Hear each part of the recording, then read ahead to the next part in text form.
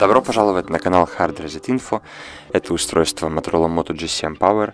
И сейчас я покажу, как включить резервное копирование э, данных на аккаунт Google. У меня оно отключено. Я его специально не включал, чтобы показать, как его включить вам. Итак, что такое вообще резервное копирование? Давайте я вкратце расскажу. Ладно, давайте я вкратце расскажу, потом сначала покажу, как, как включить. Открываем приложение настройки, затем Э, спускаемся немножечко вниз э, и находим такой пункт, как Google. Вот, это наш аккаунт.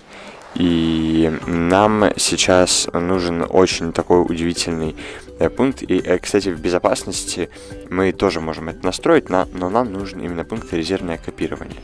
Да, то есть можно это через безопасность там настроить, но мы заходим просто в резервное копирование и включаем кнопочку «Включить».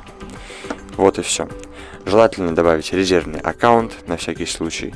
Да, но я этого делать сейчас не буду, потому что нет второго рабочего аккаунта. Э, но вы, я надеюсь, все-таки добавите резервный. Э, для чего это нужно? Сейчас уже рассказываю. Получается, он запоминает, какие приложения были у вас скачаны, он скачивает на Google Диск все ваши контакты и какие-то такие номера телефонов, э, список вызовов, со, список сообщений.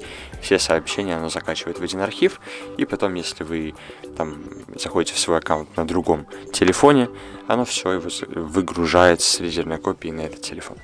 Ну вот, в принципе, для этого это и нужно. Но приложение он не резервирует полностью.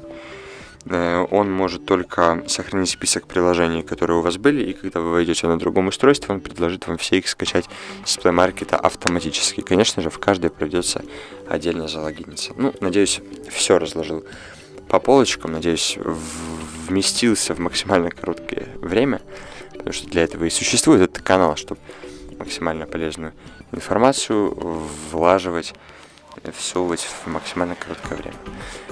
Так же, ну все, Спасибо большое за просмотр. Ставьте лайк, подписывайтесь на канал, пишите комментарии, а если вы подписаны на канал и написали вопрос, мы вам обязательно ответим. До скорых встреч, пока.